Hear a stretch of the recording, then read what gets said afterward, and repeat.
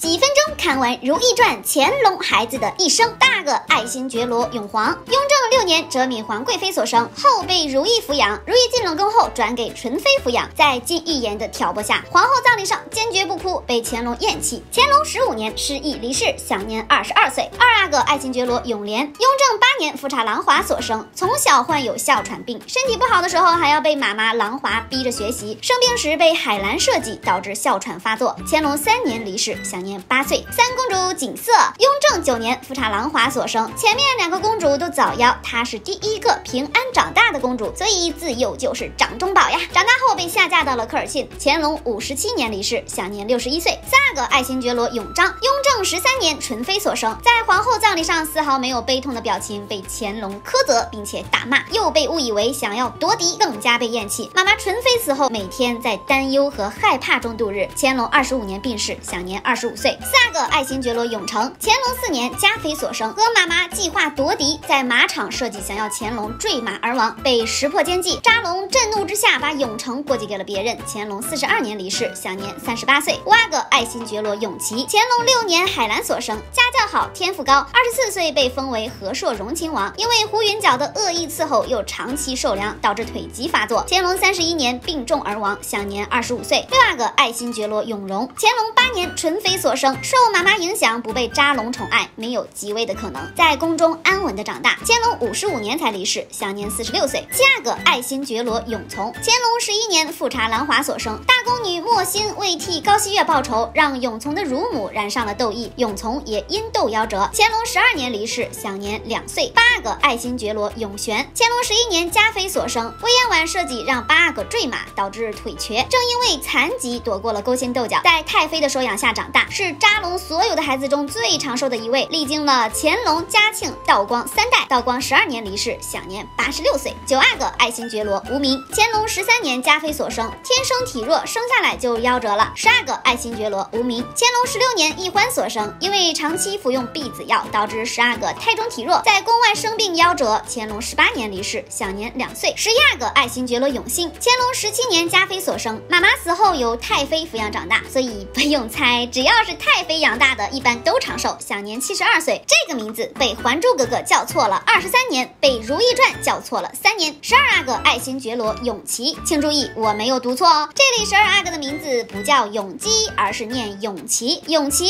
永琪，傻傻分不清，不知道扎龙那时候咋区分五阿哥和十二阿哥。十二阿哥是乾隆十七年如懿所生，因为妈妈断发的缘故，儿子也失宠了，被下毒发现后，由嬛嬛亲自抚养长大。乾隆四十一年去世，享年二十四岁。五公主景四，乾隆十八年如懿所生，被嘉妃的富贵儿吓到，心脏病突发夭折。乾隆二十年离世，享年两岁。六公主无名，乾隆二十年颖妃所怀，嘉妃的狗扑过来的时候吓到了颖妃，导致六公主难产没有生下来，享年零岁。十三阿哥爱新觉罗永景，乾隆二十年如懿所生，护士田嬷嬷受魏嬿婉指使，一直按摩使如懿胎位不正，剧中难产而亡。但历史上的永景是活了两岁的。很多宝宝问过我，历史上的那拉氏皇后到底受不受宠？我想这个四年三胎就足以说明一切了吧。七公主景元，乾隆二十一年令妃所生，生下来交由颖妃抚养长大成人，长大后三观超正，不认亲妈，护着后妈。乾隆四十年离世，享年十九岁。九公主无名，乾隆二十三年令妃所生，被克嫔抚养。乾隆四十五年离世，享年二十二岁。十五阿哥爱新觉罗永琰，乾隆二十五年令妃所生，妈妈死后由婉嫔抚养，后被秘密立储。嘉靖二十五年离世，享年六十岁。十六阿哥爱新觉罗无名，乾隆二十七年令妃所生，发烧离世，享年三岁。十七阿哥爱新觉罗永璘，乾隆三十一年令妃所生，嘉庆二十五年离世，享年五十四岁。以上就是出现在《如懿传》中的二十二位乾隆的孩子。历史上的乾隆总共有二十七个娃，《如懿传》中就呈现了二十二位，实在是用心了呀！喜欢我别忘了给我点赞评论呀，宝宝们，我们下期再见。